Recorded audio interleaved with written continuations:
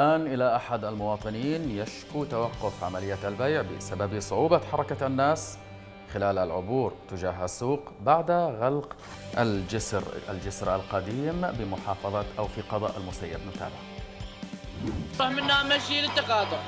ومن التقاطع نجي نجي على باب الله مشي. يعني هاي الجسر صار لهم خمسة أشهر وما مكمل يوميا دق دق دق دق هاي اسمه يعني عمي ما يصير هسه لأني خمس علاليق واجي لي. صار خمس أيام. يعني حتى قطع ارزاقنا والله.